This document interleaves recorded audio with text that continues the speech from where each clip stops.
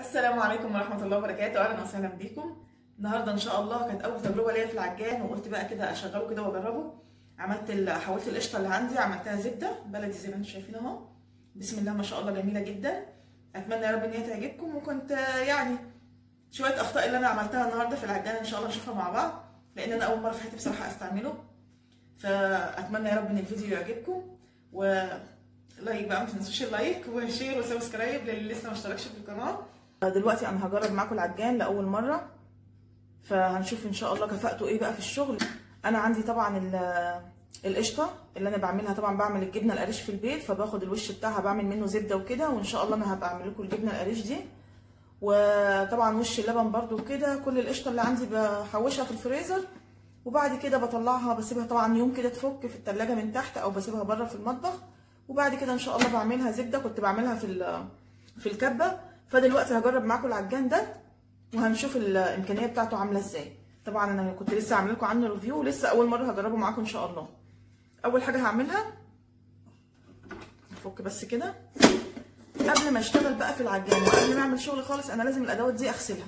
طبعا عشان مكان التصنيع ومكان كده الإيد اللي مسك أو حاجة فلازم طبعا الحاجات دي تتغسل الأول. فهروح أغسل دي وأغسل ال- الكف اللي أنا هعمل بيه الزبدة بتاعتي اللي هو الكف ده.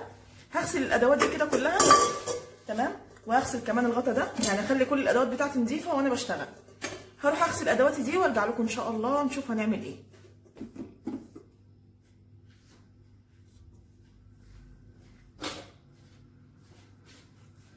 كده خلصت بالظبط غسيل الأدوات بتاعتي. وطبعا قلنا لازم وإحنا بنركب ناخد بالنا من اتجاه ال- اللي هو البنز أو ال- الحاجات اللي هي ال- المسمار ده. تمام؟ ناخد بالنا من الاتجاه بتاعه ونرفع لفوق كده ونلف. تمام كده بالشكل ده؟ نلف كويس كده؟ وبرده وإحنا بنشيل ال- القطعة دي برده هنرفع لفوق كده ونلفها برده تمام؟ طيب أنا برده بص هفكها أهي معاكم. كده؟ على أساس إن أنا هركب بس الغطا الأول. هركب الغطا الأول عشان بس إيه؟ آه مفيش حاجة تطرطش فوق على العجان أو حاجة. تمام؟ كده بالشكل ده. لفوق ونلف كده لازم طبعا زي ما اتفقنا الأدوات تتغسل كويس الأول قبل ما نعمل بيها أي حاجة. طبعا كل الناس مش محتاجة يعني حد يفهمها كده. بس أنا بقول لعل وعسى يعني في ناس ممكن تكون ما بتاخدش بالها افضي بقى القشطة بتاعتي. زي ما قلت لكم دي القشطة اللي بعملها من على وش ال- الجبنة القريش والوش بتاع الحليب بشيلها من عليه. افضي بقى القشطة دي كلها كده. يا رب بس ما ادهولش الدنيا عشان أنا إيه مش شايفة برده مش واخدة بالي. عشان عاملة اتجاه العجان عليكم أنتوا ممكن نحط قشطة تاني حاسة دي كده قليلة. هي بسم الله ما شاء الله الحلة يعني كويسة. أهي.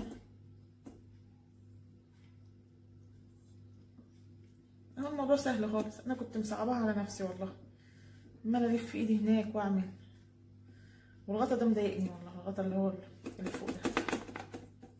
بس أنا حاليا عشان أنا أول مرة أجربه أهو يعني عشان أول مرة أجربه فحطاه كده عشان بس ما مش عايزة حاجة يعني تبهدل العجان من فوق. بس كده نشوف بقى مع بعض.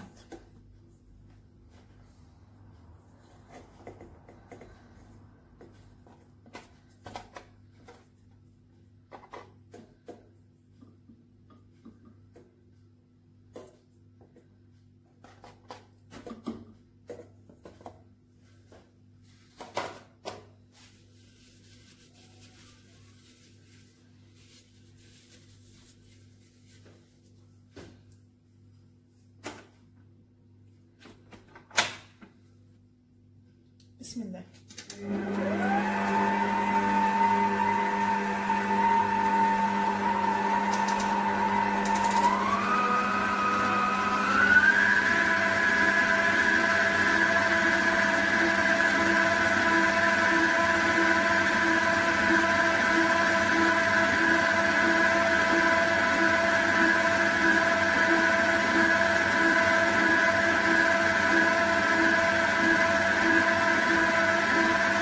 أنا مشغلاه على السرعة الثالثه فممكن أعلي شوية كمان.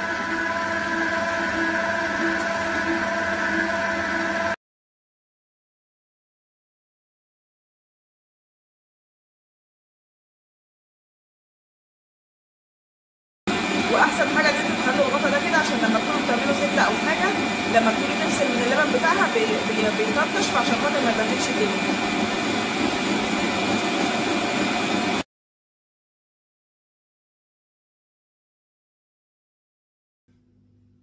طبعا الزبدة دي ممكن تتعمل في الخلاط يعني ممكن لو هنعملها في الخلاط بنزود مية بقى على أساس إن هي تلف في الخلاط. والحليب اللي بيطلع من الزبدة ده بنعمل منه معجنات كتيرة جدا في منتهى الجمال.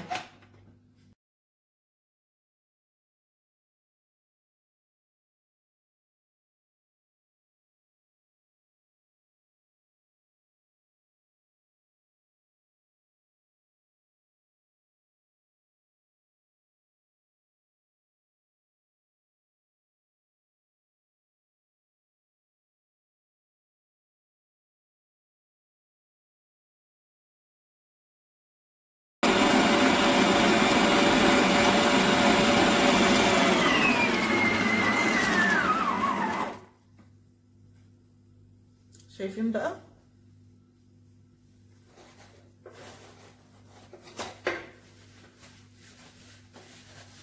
بصوا لما تيجي بقى بتفصل الزبدة بت- بتطرطش الحليب بتاعها إزاي؟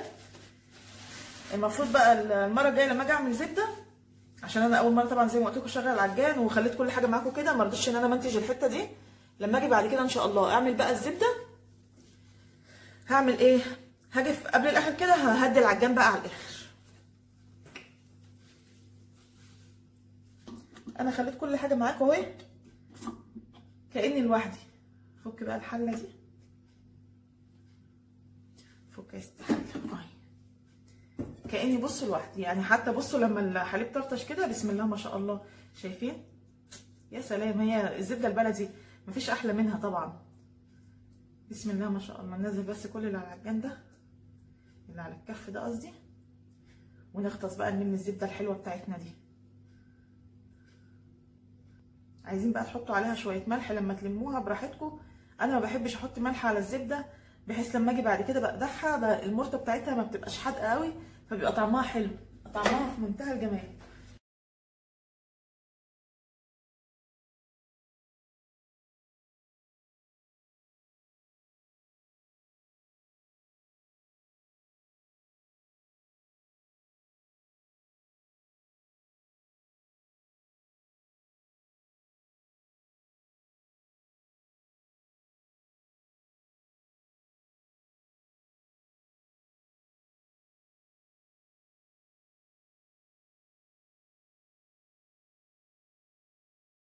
ده بقى الحليب اللي طلع من الزبده دي. الحليب بقى دون تعملوا بيه معجنات تحفة تحفة تحفة تحفة. أنا بعمل منه البيتزا يعني أروع ما يكون. شيله بس على جنب دلوقتي وانضف المكان وهرجع إن شاء الله أكمل بقى الكمية اللي معايا.